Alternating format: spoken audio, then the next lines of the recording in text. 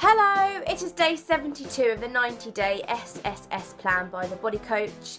It's week one, it's Friday, it's cycle three, and I just thought I'd give you a bit of an update of how I'm going.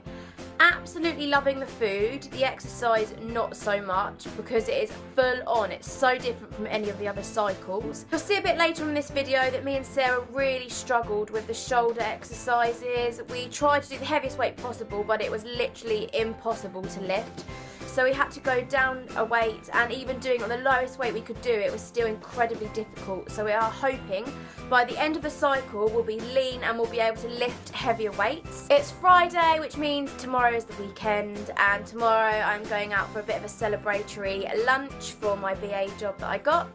Um, I will be having champagne and some alcohol and some lovely food. I'm going to Marcus Wareing's restaurant so I will show you guys what I'm eating and then Sunday I've got panto rehearsals back on Monday, back to the gym, back to healthy eating. Hope you enjoy this video and I will speak to you soon.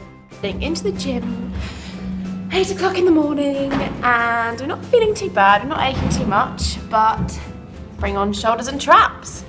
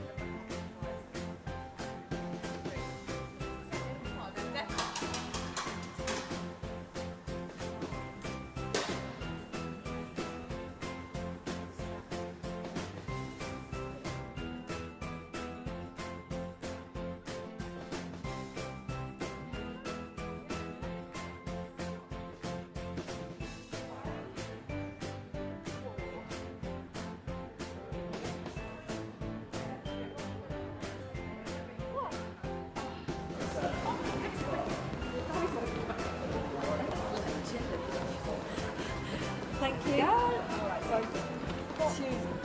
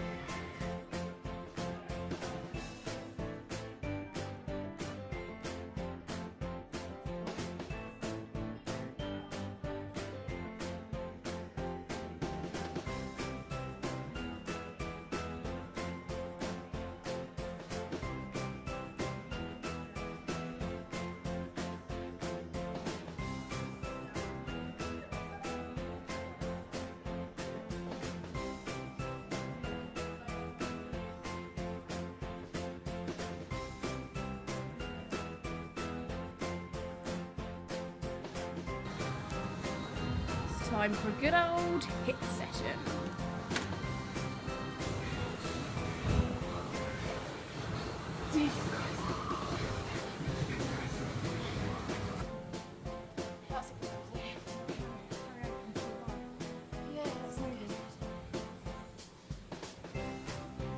Okay.